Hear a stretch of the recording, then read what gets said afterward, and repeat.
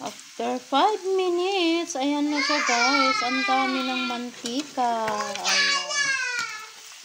What ka didi? Ayan.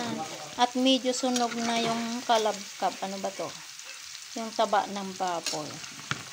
So, pwede na natin paliitin yung apoy. So, paliitin natin yung apoy guys. Kasi nga masyadong malaki. So, paliitin natin. Ayan.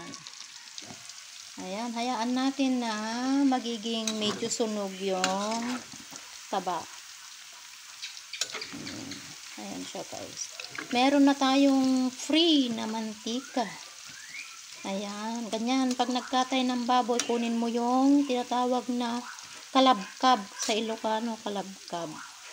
Yung taba sa tiyan. Ayan na siya, magiging mantika. Ito'y wala ng halong tubig. Puro mantika yan guys. Ayan. Tapos, nilagyan na natin ng asin. So, masarap na siya. Ayan. Nasa labas.